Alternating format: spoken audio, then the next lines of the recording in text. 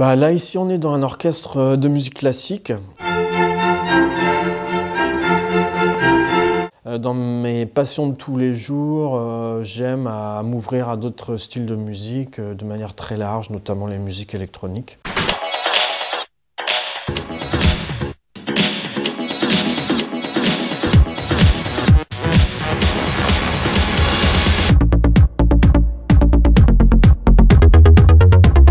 C'était au tout début de Nordic, peut-être la première ou la seconde édition. Et voilà, j'y étais là-bas euh, juste pour m'amuser entre, amis. C'était cette soirée justement un peu atypique dans le parking souterrain du château de Caen.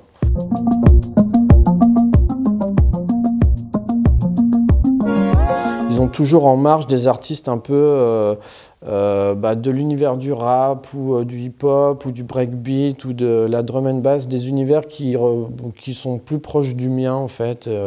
Donc c'est vrai que c'est pour ça c'est un festival qui est assez ouvert également dans le style électro en fait.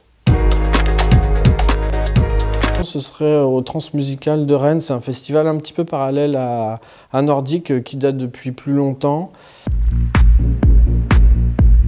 Les premières soirées un peu techno, rêve party, tout ça, je les ai faites euh, à Rennes, dans ce cadre-là, pendant les trans ou autour des trans musicales.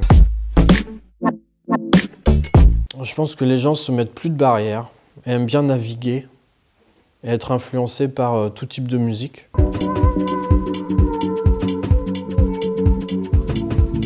Euh, les instruments aussi qui se renouvellent beaucoup. Donc tout ça, ça permet, je pense, beaucoup de créativité.